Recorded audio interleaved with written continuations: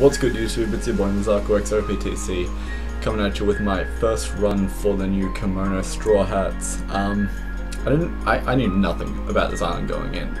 I was just like, yo, uh, final boss is int, so I'm gonna just do like a standard Strongworld, Strongworld Shanks team.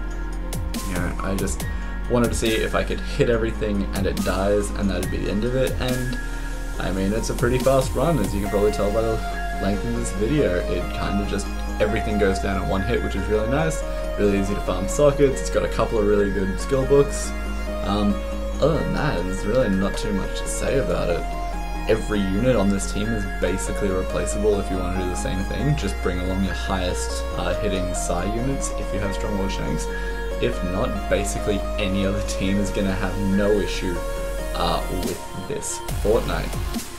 It's really nice that they gave it to us. Like, if you see here, I um, I didn't think I was going to be able to take them all both down with just one turn, but I got pretty lucky despite having shitty attack order.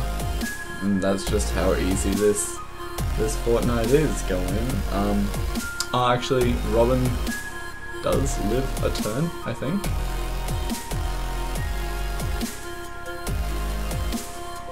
Nope, nah, that's it. There's no, nothing else.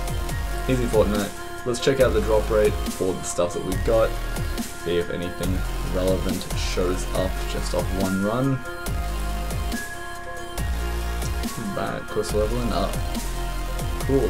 That was not great stuff. We got Usopp sockets, so if pulled Legendary Usopp, hell yeah. Just checking what he does.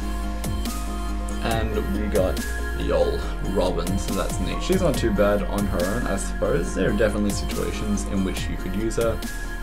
Um, but yeah, with that said, MuzakuX OPTC signing out. Peace.